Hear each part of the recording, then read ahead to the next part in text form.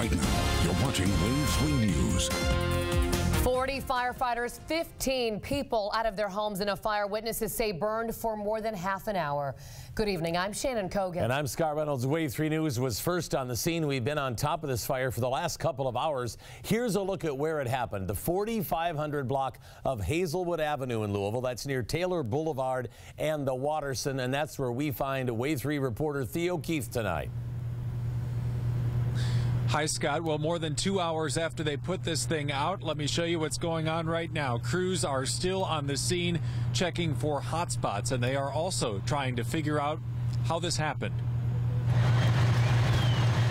From walls lit up with flashing lights, heavy smoke pours from an apartment building in South Louisville.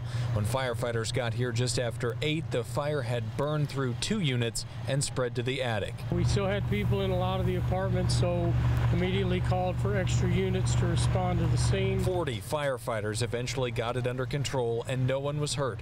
15 people got out of their units and some watched from across the street. I've been out here for about almost an hour now and it probably burned for about, let's say 30 minutes minutes. None of the tenants in this 20 unit building will get to stay in their own homes Monday night.